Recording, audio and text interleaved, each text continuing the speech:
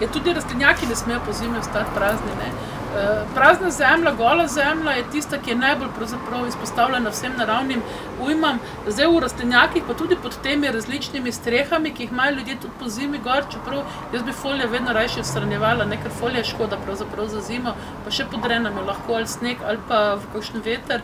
Uh, je potrebno, tam še bolj sonce pritiska skozi tam se zemlja še bolj ogreva, ohlaja, ogreva in ohlaja in to je v bistvu smrt za to življenje v zemlji. Tako da jaz res svetujem, da poleg vseh teh zimskih rastlin, ki jih imamo lahko v rastlinjakih in morajo biti, leta rastlinjaki niso namenjeni samo plodom, kam bo dovolj strehca ni potrebno delati rastlinjaka. Če ste si že dali uh, stroške narediti za to, da ste si naredili rastlinjak, uh, dajte v rastlinjak. V rastlinjaku imate lahko praktično do januarja, februarja, vedno vse vrste radičev. Zato je zdaj že prepozno. Ne? Radiče bi bilo treba nekje konec julija ali pa začetku avgusta sadike presaditi.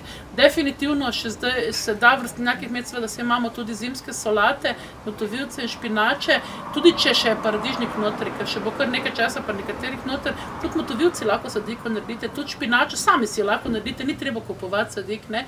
Potem, ko boste sprazni, presadite uh, te sadike. Uh, jaz bi absolutno vedno, bo že spet to je treba pač na to bolj razmišljati nekje konca avgusta ali pa sredini, ob robu posajala petršil, zato da ne bo tistih sile, da je treba aprila že sajati april ven na petršil na prosto. Tudi kakšno blitvo sadiko bi recimo nekje v začetku avgusta posadila, da bo tudi ta blitva nekje na razpolago kar relativno hitro. Uh, jaz svetujem tudi čebulček, se pravi, za mlado čebulo vse nekaj, čebula sodi tudi med tiste, ki razkožujejo zemljo. Ne? In če damo za mlado čebulo vse vrsto dve, skratka tudi tisti delček malo razkožujemo, eh, pa še marsikaj, no, takšne novejše rastline, ki pa jih nekateri zelo obožujejo celo in vsi, ki jih posadijo, si recimo posadijo zimski portolak. Zimski potolak je ena taka smešna rastlina, malo podobna plevelu, ampak ima ogromno, ogromno C vitamina, ogromno tudi še drugega kalija in drugih koristnih snovi, posebej za zimo, celo zimo raste eh, in dejansko se tudi kar sam zaseje v naslednjih letih.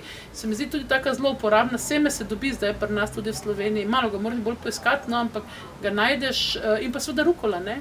S tem, da tu bi govorila bolj o tej divji rukoli, eh, oziroma diplotaksisu, zato ker tale lažje prezimi in mejte rukolo po zimi, ne poleti. Poleti se celo poletje ukvarjamo z rukolo, pa z bohači in tako naprej, po zimi pa nišče nima. Ne?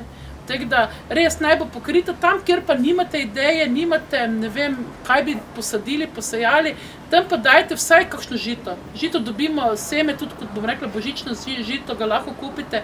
Skratka, tako da bo tam en košček zelen in da bo tisto ena oaza, en hotel za te koristne mikroorganizme in pa tudi makroorganizme, pa da zemlja ne bo gola in ne bo izpostavljena temu zimskemu skakanju temperatur, ki je pa v rastlinjakih še bolj izrazito.